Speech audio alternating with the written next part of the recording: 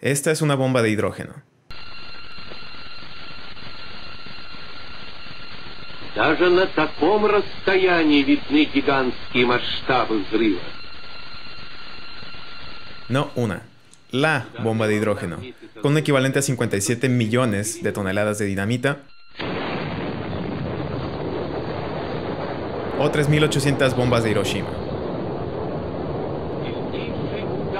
Esta bomba, la Tsar bomba, fue probada por la Unión Soviética en 1961, en lo más caliente de la Guerra Fría, y es el dispositivo explosivo más potente creado por el hombre hasta ahora. Hace apenas unos días Estados Unidos anunció que se va a salir del tratado llamado de Fuerzas Nucleares de Alcance Intermedio, INF por sus siglas en inglés, al que se habían suscrito tanto Estados Unidos como la Unión Soviética en 1987. Este tratado es muy importante ya que fue el primer intento decisivo de un desarme nuclear. Antes de este tratado, el mundo vivía bajo la amenaza de MAD, o MAD, como en loco o como en Mutual Assured Destruction, destrucción mutua asegurada, que quiere decir que las dos potencias nucleares de entonces estaban en una carrera para construir, desplegar y apuntar todas las armas nucleares que pudieran a sus objetivos estratégicos en una guerra de represalias. O sea que si mis radares detectan un misil enemigo en camino, yo trataré de derribarlo, pero también lanzaré mis misiles a mis objetivos en el territorio enemigo. Por eso lo de destrucción mutua asegurada. Ya que ese no es un escenario muy bonito o constructivo, ambas naciones decidieron firmar ese tratado en el que ambas se comprometen a ir reduciendo el número de misiles desplegados y se prohibió una categoría completa de armas, los misiles lanzados desde tierra con rangos de entre 500 y 5500 kilómetros, o sea, los de alcance intermedio.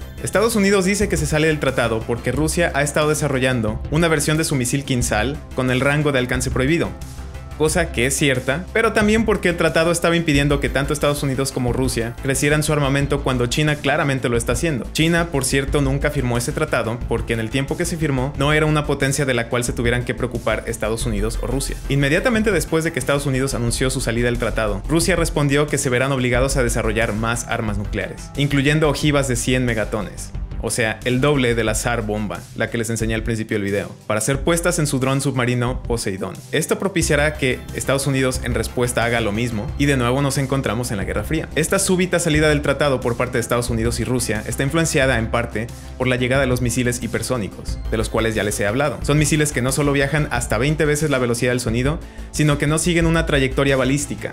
O sea, no crean esa, ese arco o esa comba predecible cuando lo lanzas al aire, como un balón que puede ser interceptado, sino que pueden ser dirigidos en su trayectoria, son capaces de maniobrar y evadir fuego antimisiles, y por lo tanto son virtualmente imposibles de interceptar. Rusia ha presumido que es la única potencia que ya los tiene desplegados, mientras que las demás potencias, o sea Estados Unidos y China, apenas los están desarrollando. Este nuevo tipo de armas hace que los actuales sistemas antimisiles sean obsoletos. Por lo tanto, tendrá que haber un reajuste en la estrategia de defensa, que seguramente provocará que el balance entre la fuerza de las potencias se vea afectado. Yo creo que hay dos posibilidades, una es mala y la otra es peor. Creo que en el caso de la mala, todo esto es una simulación por parte de Estados Unidos y Rusia, donde aparentan crecer sus tensiones para tener una excusa para volver a crecer sus armamentos, sus arsenales nucleares, temiendo el crecimiento constante del poderío militar de China. Si dijeran abiertamente que la razón para salirse del tratado y armarse hasta los dientes es China, podrían provocar tensiones que ni Estados Unidos y mucho menos Rusia, siendo su vecino, querrían tener con China.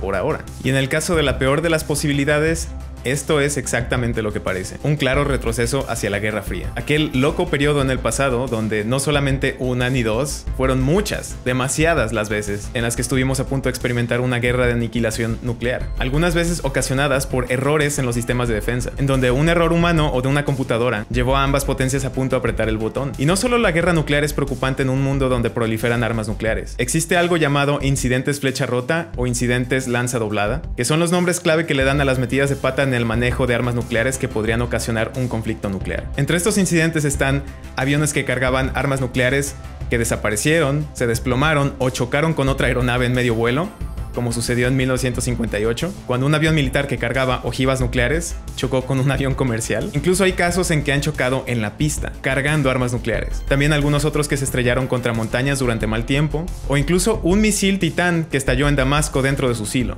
en 1981. Y esto solo es el lado de Estados Unidos. No quiero ni pensar cuántos de estos incidentes existirán del lado de Rusia, donde por lo que se vio en su programa espacial, estaban mucho más enfocados en resultados que en seguridad. Uno pensaría que una potencia mundial que se respeta, sería más cuidadosa con sus juguetitos. El problema es que si tienes demasiados, las posibilidades de que algo salga mal, ocurra un accidente o alguien deliberadamente haga uso de ellos se elevan. Es precisamente la razón por la que el Tratado de No Proliferación era tan importante, porque cometemos errores. Y cuando estamos hablando de armas nucleares, los errores son algo que no nos podemos dar el lujo de cometer. Pero sea cual sea la razón de este relanzamiento de la carrera armamentista, definitivamente en este momento nos encontramos en un mundo mucho menos seguro que hace dos semanas. Los expertos dicen que las posibilidades que tenemos de morir en un accidente nuclear debido a mal manejo o a un conflicto nuclear son de una en un millón. Suena mucho, pero si te pones a ver que las posibilidades que tienes de morir en un accidente aéreo, en un vuelo comercial, son de una en 40 millones, eso te da un poquito de perspectiva. Tienes más posibilidades de morir en un holocausto nuclear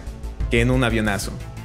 A menos que seas un funcionario público o un político aquí en México, porque ellos en cuanto ponen un pie en una avioneta o un helicóptero, caen como moscas. Hay algo que se llama el reloj del fin del mundo. Es un símbolo que representa qué tan cerca estamos de una catástrofe global producida por el hombre. Cada año se evalúa qué tan cerca estamos de la medianoche o sea, el fin del mundo. Por ejemplo, hace apenas unas semanas el Boletín de Científicos Atómicos, que son los que producen este boletín, que son los que inauguraron en 1947 el reloj del fin del mundo, revelaron que nos encontramos a dos minutos antes de la medianoche. Solamente una vez en el pasado habíamos estado así de cerca de la medianoche, fue en 1953 cuando la Unión Soviética construyó su primera bomba de hidrógeno, y después la disminución de tensiones provocó que el reloj se retrasara hasta 17 minutos antes de la medianoche en 1991. Pero la reciente escala de tensiones entre las superpotencias y el el presente cambio climático que ya nos está afectando, han acelerado otra vez el reloj y nos ha puesto otra vez a dos minutos antes de la medianoche. En 2017 estamos a dos minutos y medio antes de la medianoche, en 2018 estamos a dos minutos antes de la medianoche.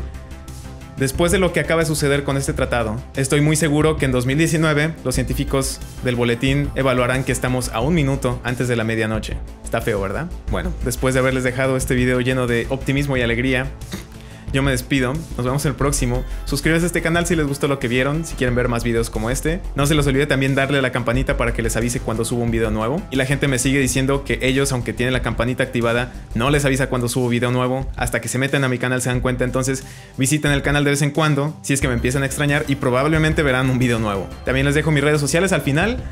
Los espero en el próximo, se cuidan mucho, los quiero.